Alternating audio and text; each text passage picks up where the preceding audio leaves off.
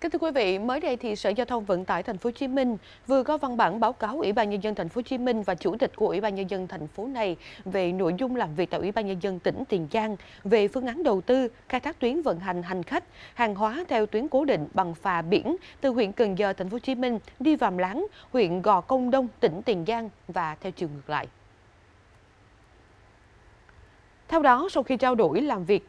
lãnh đạo tỉnh Tiền Giang và thành phố Hồ Chí Minh thống nhất mời gọi đầu tư khai thác tuyến phà Cần Giờ vàm Láng về một số nội dung.